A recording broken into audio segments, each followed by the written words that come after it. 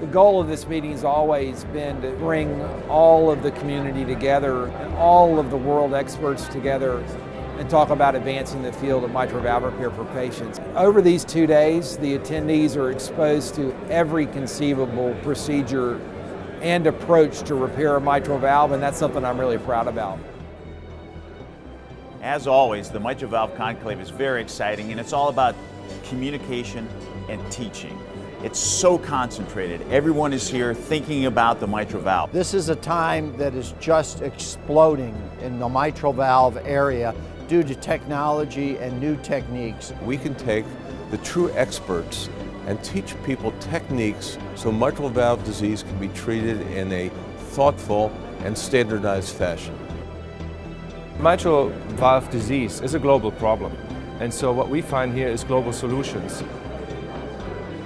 I come from Belgium, all over the Atlantic to New York City because this is where all the experts are. And when you get all of these experts together, everyone leaves a better mitral valve surgeon than when they arrived.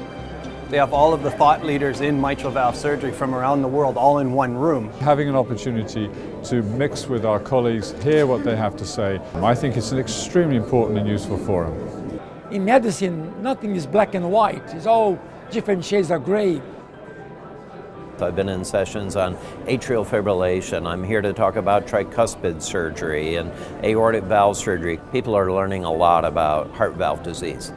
People can really see practical aspects of what we do. So I think a lot of surgeons are attending here because they can see the real world.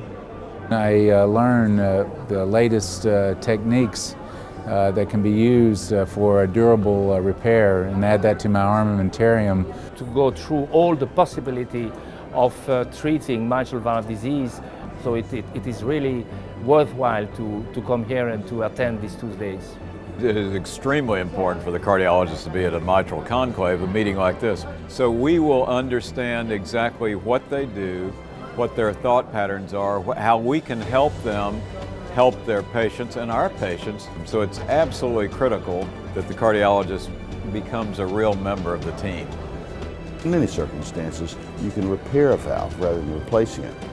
And there's so many advantages to that for the patient.